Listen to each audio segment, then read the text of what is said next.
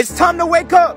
Jesus is coming back very soon and we do not have much time left. Look at New York. They literally just announced that you can't go into any restaurant, any businesses, or any gyms except you have the vaccine. That is what? Pushing towards the mark of the beast. Revelations 13 verse 16 says, And he causeth all, both small and great, rich and poor, free and bond, to receive a mark in their right hand or in their foreheads. And no man can buy, sell, or drink anything unless they have the mark of the beast and the number of his name is 666. If you don't think that this is pushing towards the New World Order, pushing towards the agenda for the demonic agenda that Satan has been plotting for years, you are tripping. Give your life to Jesus today. He will save you. He will set you free and you don't have to worry about being left behind because he's coming back very soon. You don't want to be left behind. Stop living in your sin. The Bible says they must repent and turn to Christ in order for the remission of sins. The wages of sin is death, but the gift of God's eternal life through Jesus Christ our Lord.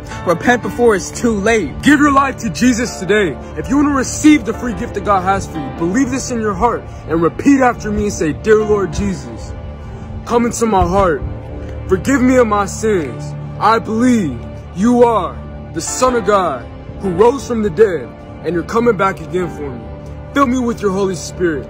Use me for your glory. Wash me, cleanse me, and make me new. I am saved. I am born again, and I am yours. In Jesus' name, amen. Amen. And I want you to share this video to everybody that you know. Let them know that Jesus is coming back soon and we do not have much time left. If you prayed that prayer, type amen, I'm saved, and get the word out. God bless you.